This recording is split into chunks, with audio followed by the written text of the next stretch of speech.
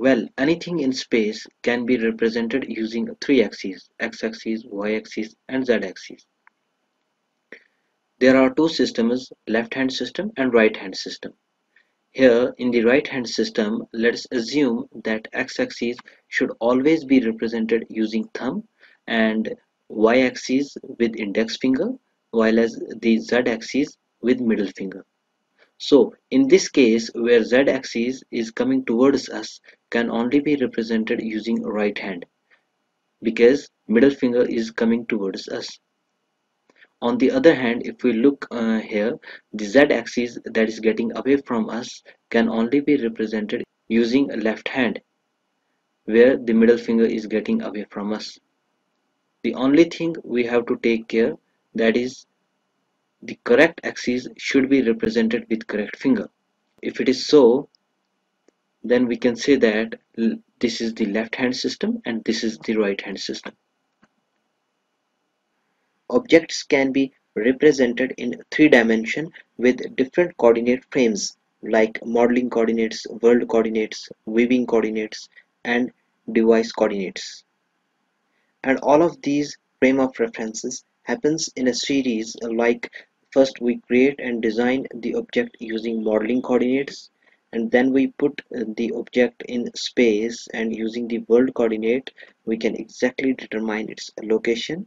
Then we translate this 3D scene into a 2D scene on certain viewing plane and then after if we have to display these images on the uh, display devices so after displaying on uh, devices we use the uh, device uh, coordinates or screen coordinates to represent the points on screen. So let's see one by one. Modeling coordinates. These are also called as object coordinates local coordinates or master coordinates.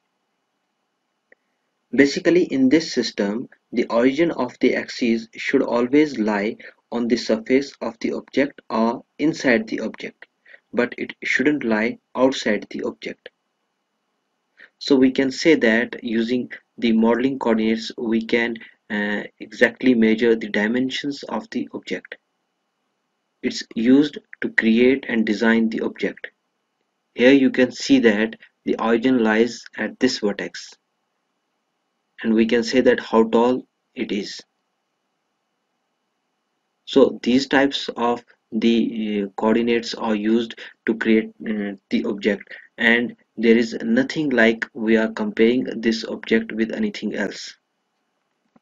World coordinates. In this reference frame we place the object in space or in 3d system. And um, by using the world coordinate system that is having three axes x y and z with uh, origin uh, somewhere in the world.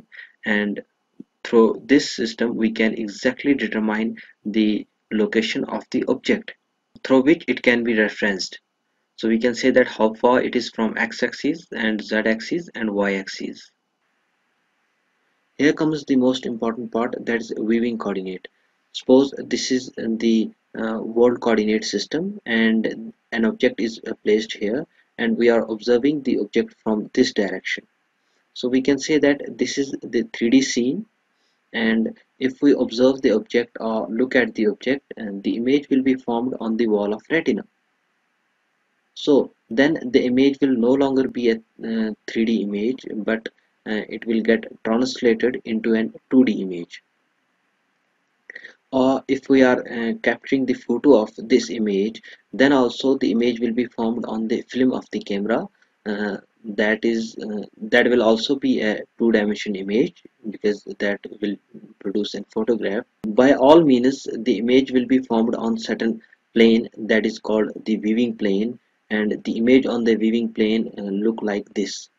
And on the viewing plane if we have to determine the location of any point or the part of any image we use the two axes that is x-axis and y-axis and through which we can uh, determine the location of any point because it is a viewing plane. So before proceeding further there is one more important concept. Uh, basically there are the two facts about viewing and that is we wouldn't be able to view all the sides of an object uh, we can only view those sides upon which the projection is formed. Here you can see that we will be able to see the two sides and top but we wouldn't be able to see the back side and the bottom.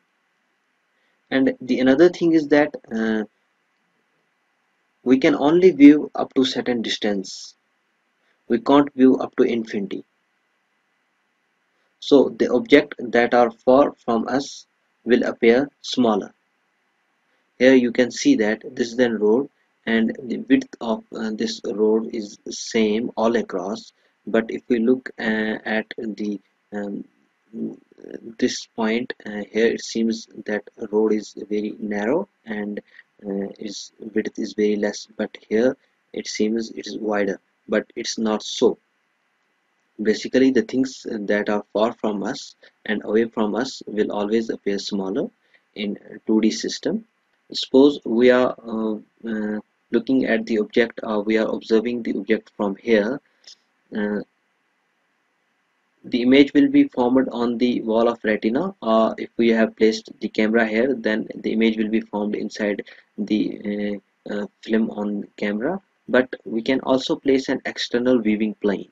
And the image can be formed on this viewing plane just by drawing the projection lines from the object and this image can be formed.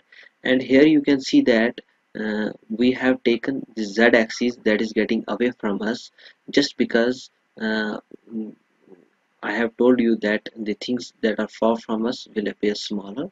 So that means the things that are getting away from us we have to measure those things. So that's why here we take the z-axis in the same direction that is getting away from us. And it is left-handed system. Device coordinates. It is the same as the viewing coordinates but the difference here is anything we view in a photograph poster as a 2d view we have to now represent these things in the digital devices. That is mobile phone tablets laptop etc so if we represent these images in the uh, display devices uh, so different display devices have different uh, screen aspect ratios and screen sizes. So the device will always adjust the image according to its screen so the same image or the same object may appear smaller or bigger on different devices. Its shape wouldn't get changed but its size may vary. Let us uh, see here, suppose this is a screen 1 and this is screen 2. Uh, we simply rotated this device. So image here seems to be wider while as the image here is the same image so we can say that if we have to uh, locate uh, any point on this screen or if we have to determine the any part of the image on the screen we use the two uh, axes that is x and y and we represent the location of that point. Uh, basically the uh, image is formed using the pixel values. So any pixels can be represented in x and y. So that's why we say it is the uh, screen coordinates and any image that is on the viewing plane needs to be first normalized and then it can be displayed in, in the device because by normalizing we adjust the size according to the screen.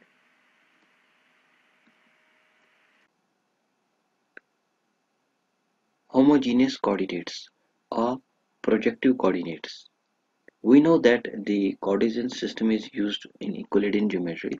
So any point in a two-dimensional system can be represented like this. The B point can be represented by 4 comma 4. So we have the two coordinates x and y. Here we can write uh, two coordinates x and y. On the other hand, in homogeneous we can uh, write the same point by x comma y and 1. So the x coordinate, y coordinate and the another coordinate 1 that is the constant and it is some sort of extra information. Why it is so? Because look if we have to represent the same point it wouldn't be possible in the Cartesian system. Meanwhile we can do so in the homogeneous system.